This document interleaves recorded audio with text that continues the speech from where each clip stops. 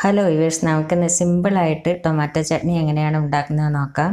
ഈ ചട്നി നമുക്ക് ഇഡ്ഡലിക്കും ദോശയ്ക്കും ചപ്പാത്തിക്കും എല്ലാം കഴിക്കാൻ നല്ലതാണ്.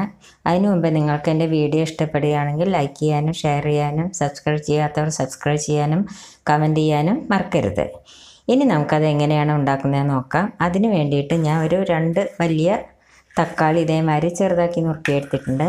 പിന്നെ ഒരു ഒന്നര സവാള എടുത്തിട്ടുണ്ട്. വലിയ വലിയ സവാളയാണെങ്കിൽ ഒരെണ്ണം മതി. ഒരെണ്ണം ഇതേമാതിരി നുറുക്കിയെടുത്തിട്ടുണ്ട് പിന്നെ അതിലേക്ക് വേണ്ടത് കടുക് വേണം. പിന്നെ ഉഴുന്ന് പരിപ്പ് വേണം. പിന്നെ അതിലേക്ക് കരിയേപ്പിന്റെ ഇല പച്ചമുളക്.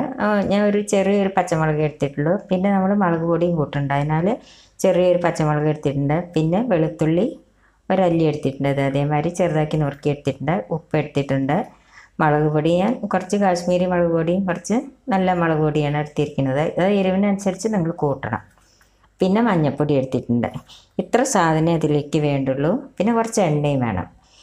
ഇനി നമുക്കത് എങ്ങനെയാണ് ഉണ്ടാക്കുന്നത് നോക്കാം. ഒരു ചീഞ്ചട്ടി അടുപ്പത്ത് വെച്ചു. അതിലേക്ക് നമുക്ക് കുറച്ച് വെളിച്ചെണ്ണ ഒഴിച്ചു കൊടുക്കാം.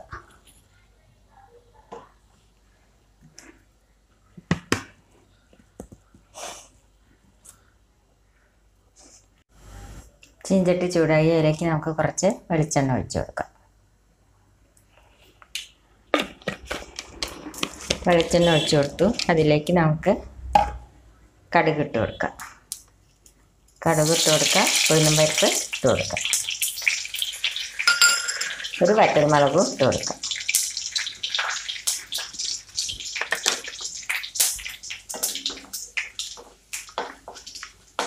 അതിലേക്ക് നമുക്ക് ഈ സവാള ഇട്ട് കൊടുക്കാം.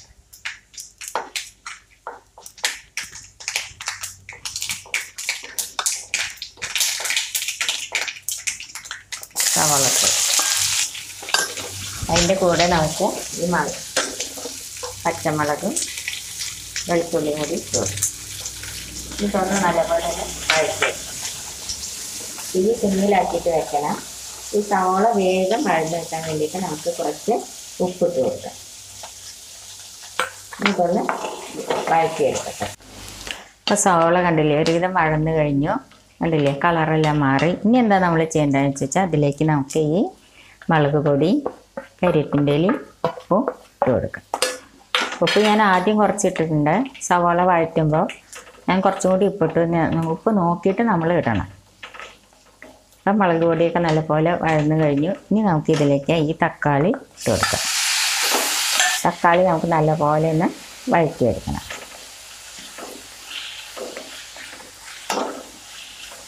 ഇനി നമ്മൾ തീ സിമ്മിലാക്കിയിട്ട് ഒന്ന് അടച്ചു വെച്ച് കൊടുക്കാം.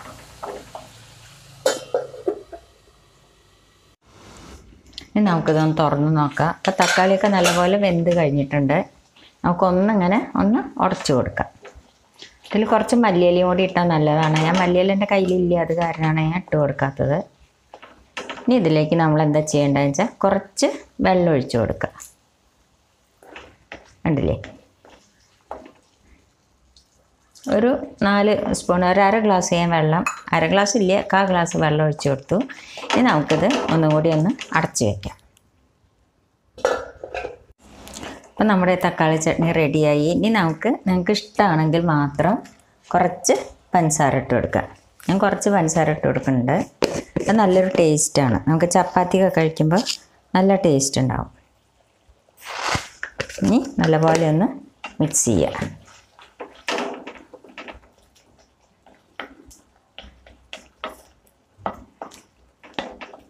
അപ്പം നിങ്ങൾ ഈ തക്കാളി ചട്നി എല്ലാവരും ട്രൈ ചെയ്ത് നോക്കുമല്ലോ. Thank you.